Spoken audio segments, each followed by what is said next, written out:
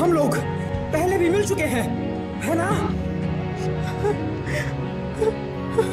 हाँ, शायद लेकिन, लेकिन तुम्हारा नाम? नाम?